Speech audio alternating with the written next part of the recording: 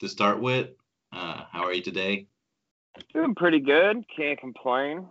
Uh, despite the pandemic, I'm doing surprisingly well. Yeah, well, that's good to hear. It seems like things are going a bit crazy now and then over there. yeah, but we'll get through it. Yeah.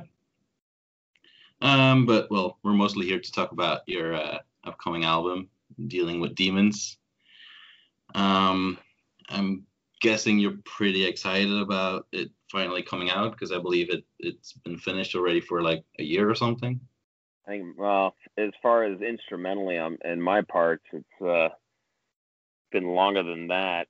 Actually, God damn it, I don't know what I did with it now, but I uh, I had to call Neil up the other day and actually ask him all the dates on like when we started things and when we finished things and I wrote it down and I honestly I can't remember but let's see. I think I finished my parts. It's been a little over a year because I think it was summer of last year of 2019 I think is when Neil and I finished all the guitars and bass. And then in February of 2000 no it was 2018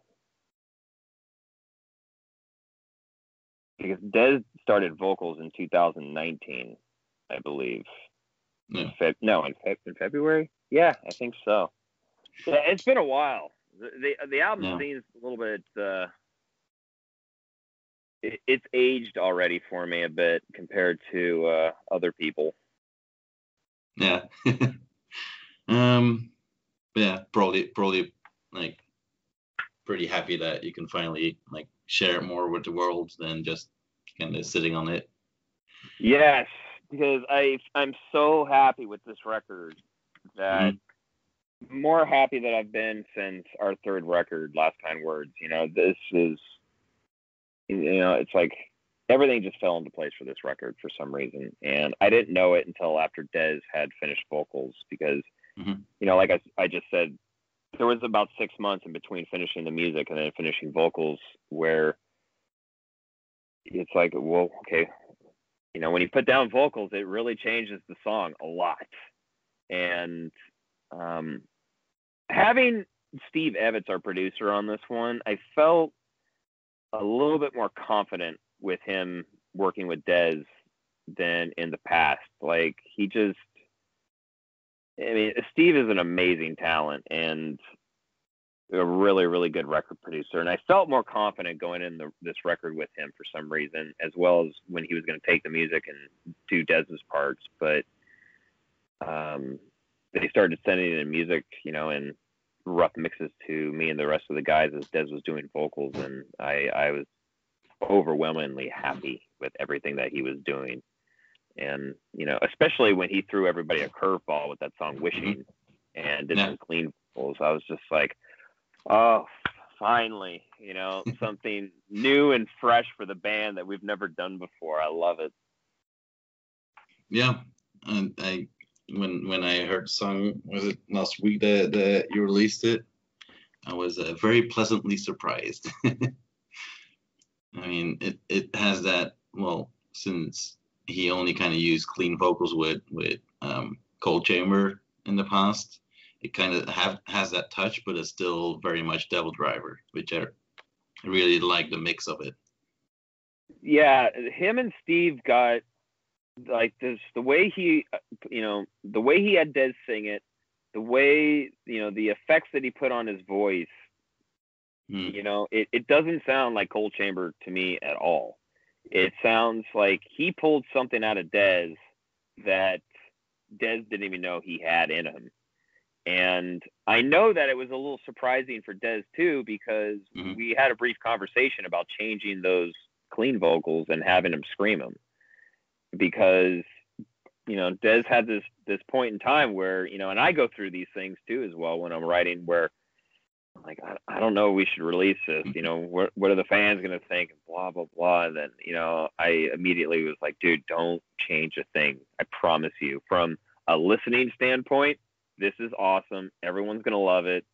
We have to do something different, and I like it so much. I think it should be the third or fourth single that we release from the record. You know, it's it's great, and luckily, you know, the, the response we've had to that song is incredibly positive. I'm actually I'm a little shocked how positive it's been. I thought there would be more haters because people just love hating on people these days.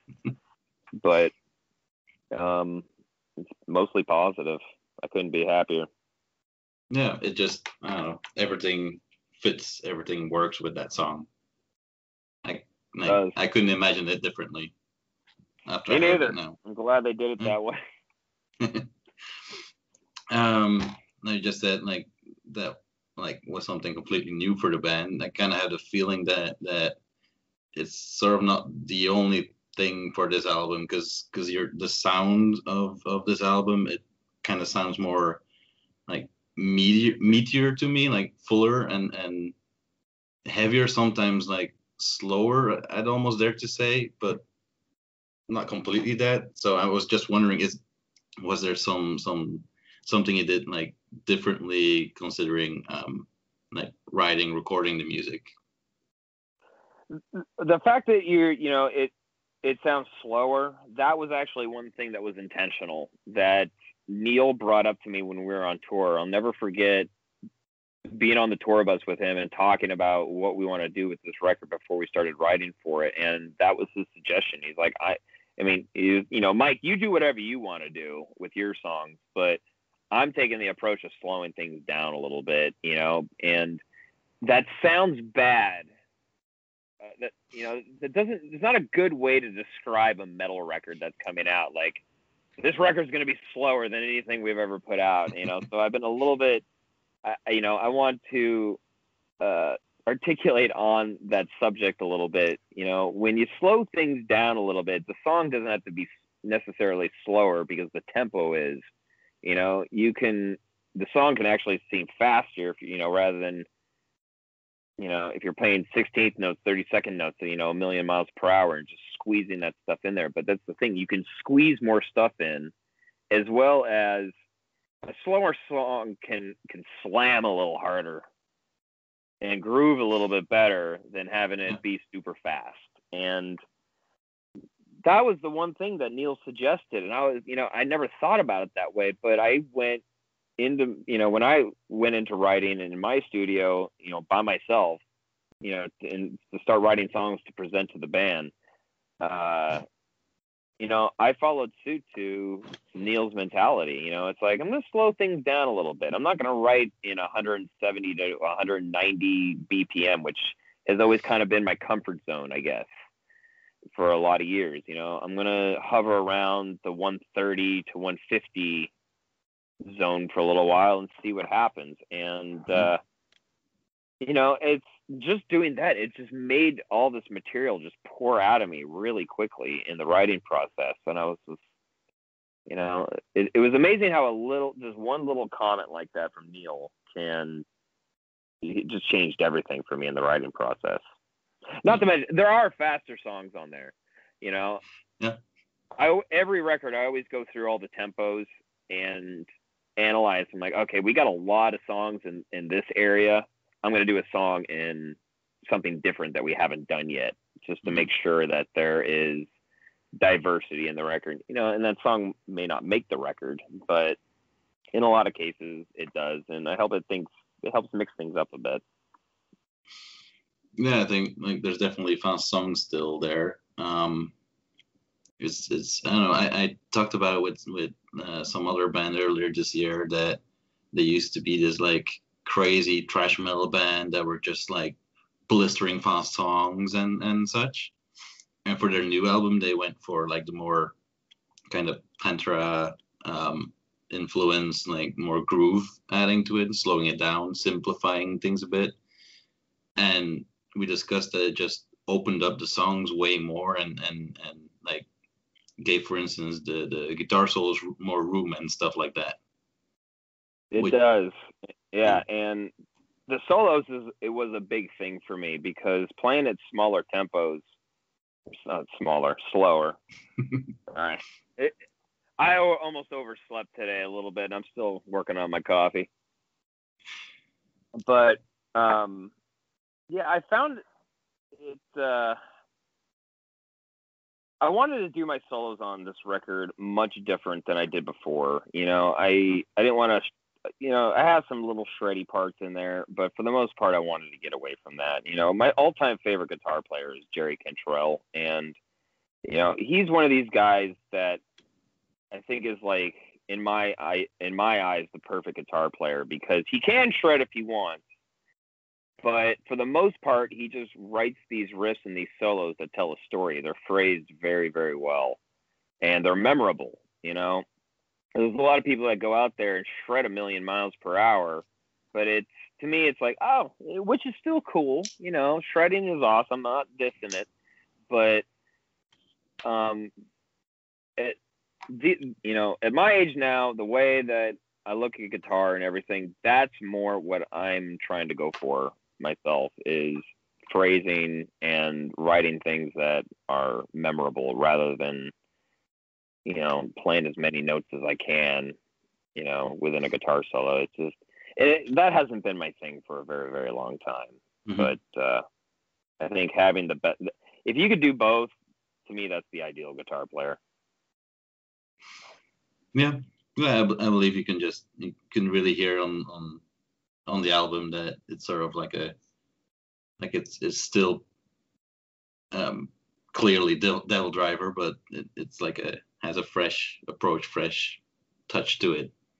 And you know and, and neil is that guitar player you know he can shred his his fingers off but he also has this amazing way of phrasing his solos. Yeah. and you know, one of the reasons I'm very, very happy that we had him join the band because, you know, he Neil never ceases to amaze me with his guitar playing. You know, he just anytime I'm stuck in a rut and I can't come up with something, I just don't even worry about it anymore. You know, I just wait until Neil comes over and be like, dude, help me figure something out for this part. And he'll usually come up with something within, you know, within 10 minutes. And I'm like, stop. That's it. You know, let's focus around that idea right there. Okay, cool. Take it from there, and you know, it's working with him is is it's so much fun, and and it definitely makes my life easier. yeah, sounds like it. Well, that's good. um, well, when whenever like a band is like about to release a new album, um, it always, always makes me wonder a little bit if you have like, um, like a favorite track on the album, but like considering playing it live, which one you're really looking forward to to play live? Yeah, there. Uh, uh, keep away from me has always been, I think. I mean, it's hard to say. It's one of my favorite tracks on the record. I don't think I even really have a favorite track because there's so many, and you know, there's a lot of songs that are on volume two that uh, no one's going to hear for a while. but uh, um, I, I, I do have kind of an emotional attachment to "Keep Away from Me." Uh, that you know, I wrote that song. You know, it's a very dark sounding song, and looking back on my life when I wrote that, wasn't the happiest, most joyful time of my life for numerous reasons. And the funny thing is, is like during a pandemic, you know, is this is the happiest I've been in years. Like my life is is fucking awesome right now, despite the pandemic. I, I can't complain. Like I'm I'm very very lucky. I'm fortunate. My two favorite things in, in the world to do are surfing and and play guitar and work on music, and I can still do those things. You know, so um, I'm glad I picked surfing and music as my two favorite hobbies. Um, but yeah, that that song kind of represents musically what I was going through at the time, and um, it was one of those moments in the writing process. I think more than ever, where I, I was writing that song, and you know, we didn't really change much when we were in pre-production with the band. You know, we came up with the whole intro.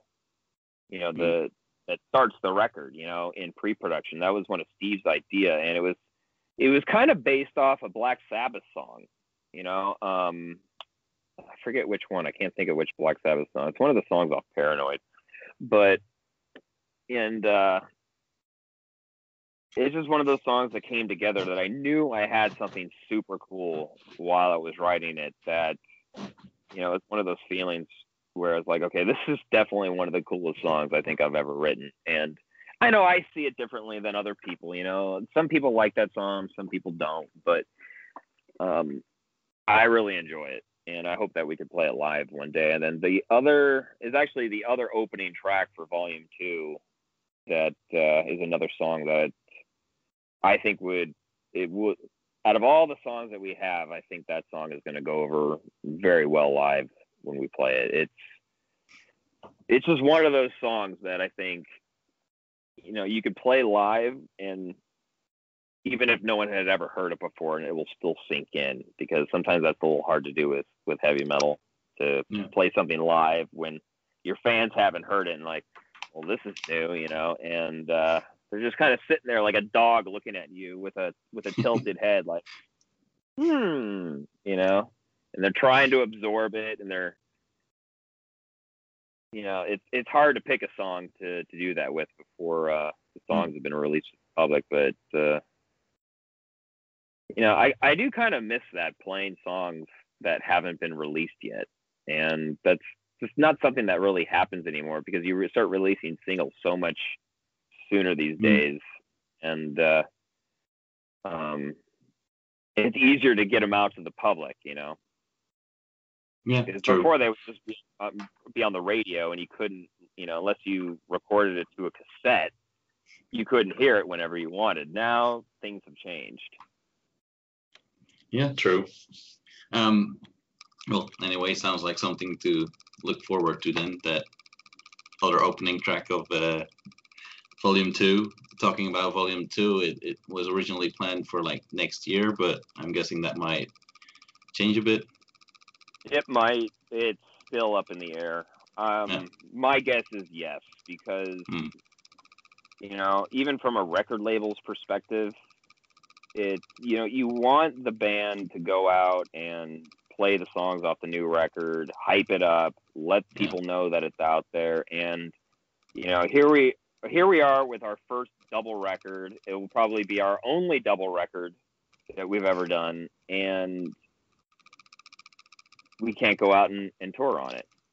Mm. But actually, I'm now I'm actually really glad that we did a double record because either we would probably go in the studio and do another one while this pandemic is going on without doing any touring on this one at all.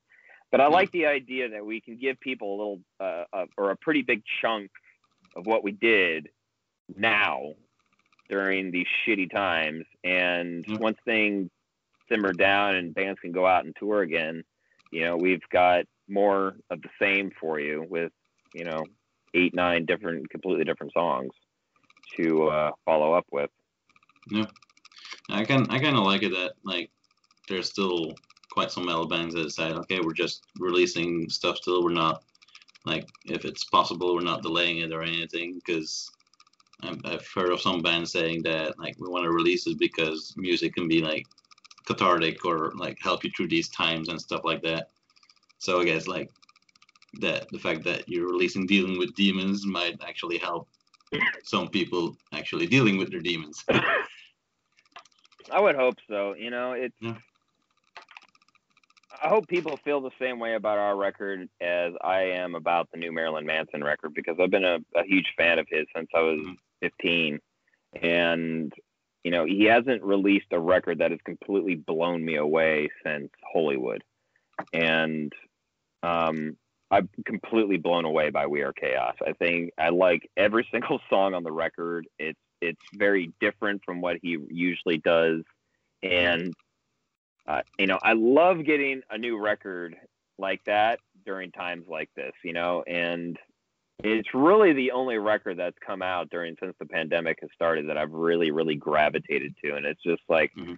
finally, you know, like Manson is he's he's back and releasing incredible material again and for the first time in 20 years now he's always released songs off other albums that i've liked i've always been able to find something but it's not it's never been as good as We Are Chaos.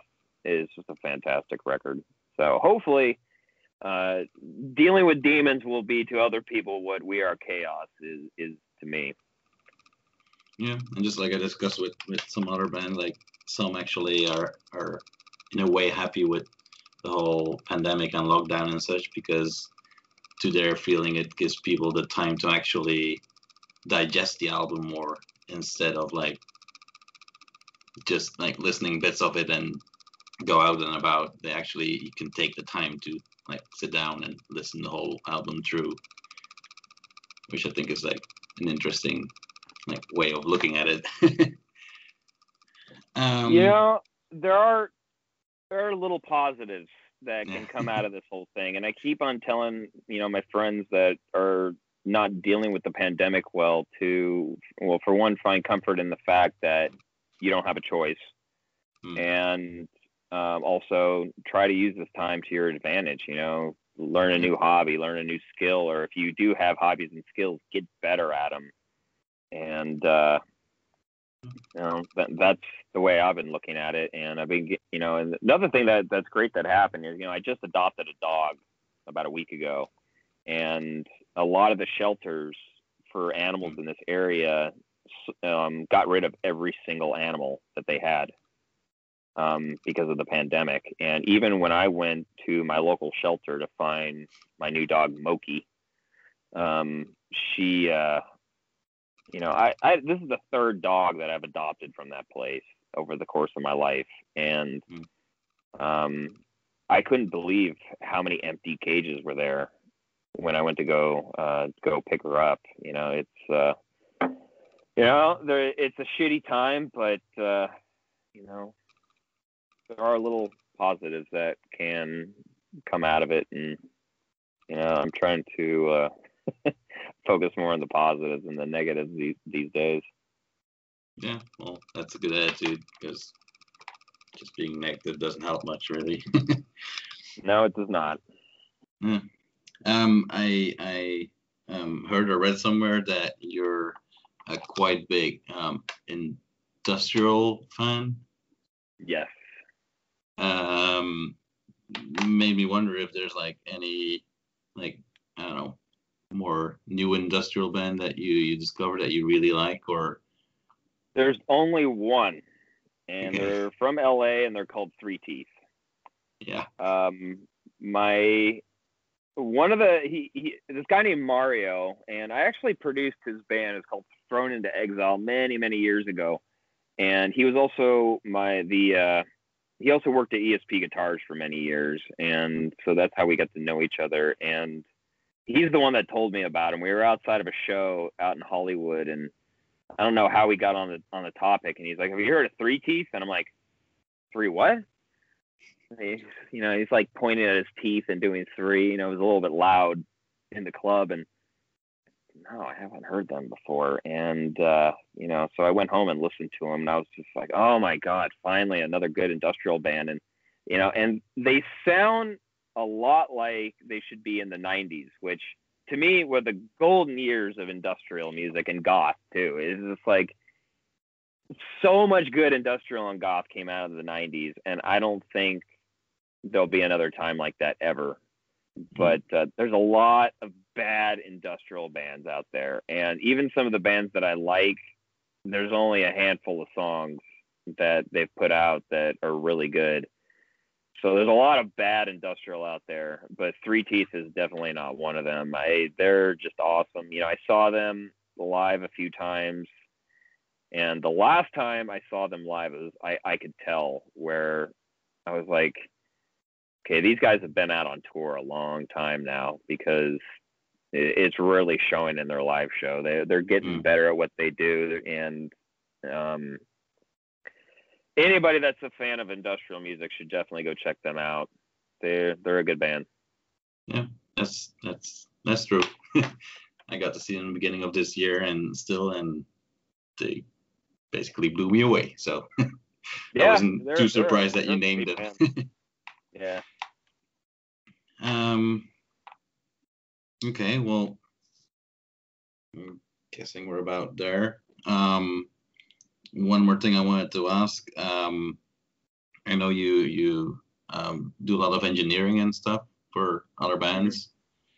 Um, is there any like like band you've recently did, did work for, or like a recent band you discovered um, outside of, of the engineering that um, you want to like give a shout out to, like that we should check these guys out?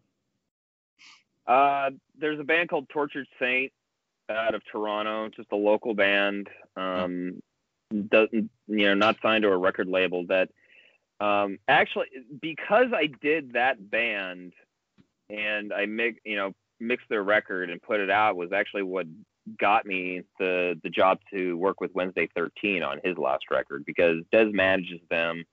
He I posted a little you know promo clip of Tortured Saint and shortly after I I posted it, you know, I got a text from Dez like, "You mix this?" And I was like, "Yeah." And uh, he's like, I think he showed it to Wednesday or something like that, and then I ended up producing their record, and you know, we're doing another one in January. So it's uh, you know, you never know where things are going to lead. Yeah, that's cool. Um, well, I'm afraid I got I gotta I gotta run. I already got my next interview. Yeah calling me. Yeah, that's that's no problem. I was just about to wrap it up. um, well, lots of luck with your uh, record, and hope to see you sometime soon. Thank you very much, man. It's been a pleasure. Yeah.